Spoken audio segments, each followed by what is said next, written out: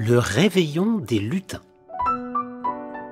Savez-vous ce que l'on aperçoit parfois dans les forêts des Vosges et de la forêt noire à la période de Noël? Eh bien, ce sont des petits bonshommes mystérieux et farceurs. Comme le Père Noël, ils portent souvent une belle barbe blanche. Tout comme lui, ils sont coiffés d'un capuchon et sont vêtus de rouge. Vous l'aurez compris, ce sont les petits lutins de la forêt. Lorsqu'ils ne sont pas occupés à jouer, ils aident le Père Noël à préparer ses jouets.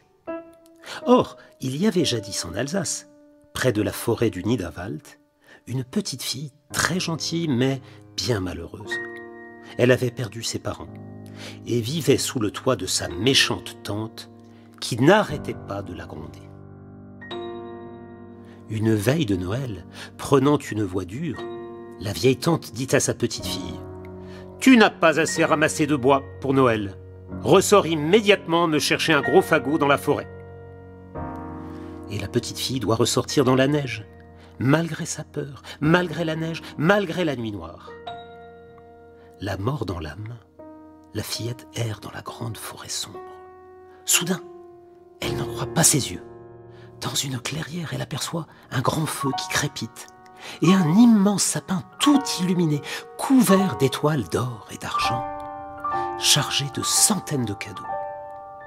Tout émerveillée, la petite fille tend la main vers une belle poupée. Mais aussitôt de petites voix stridentes s'élèvent parmi les fourrés et les buissons couverts de neige. Au voleur, au voleur, on nous prend les jouets du sapin. En un clin d'œil, la petite fille est entourée de dizaines de petits lutins qui gesticulent dans tous sens. Dès qu'elle est remise de sa surprise, elle s'arme de courage et leur dit d'une voix implorante Messieurs les lutins, je ne suis pas une voleuse. J'ai été envoyée dans la forêt par ma tante, qui veut que je ramasse du bois mort. À ces paroles, les lutins s'attendrissent. De minuscules larmes perlent à leurs paupières et deviennent aussitôt de petits cristaux de glace. Ils proposent alors à la petite fille de fêter Noël ensemble.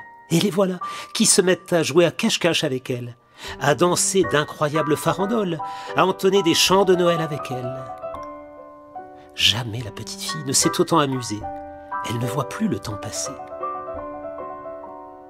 Soudain, on entend au loin le clocher du bourg sonner les douze coups de minuit. La fillette prend peur. Que va dire sa tante? Alors, les lutins décident de la raccompagner chez elle sur la pointe des pieds. Les yeux écarquillés, ils regardent à l'intérieur à travers le carreau givré.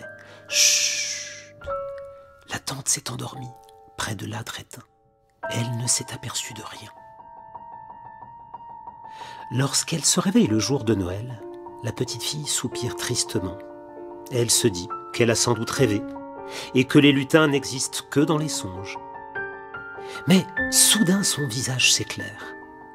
Elle ne doute plus que ses amis les lutins existent bel et bien, car à côté d'elle, près de son oreiller, ils lui ont laissé le cadeau dont elle rêvait tant. Vous avez deviné? Il s'agit de la belle poupée qu'elle avait aperçue la veille sur le sapin des lutins. Une poupée qui devint sa meilleure amie, qui lui tint compagnie et consola ses peines tout au long de son enfance.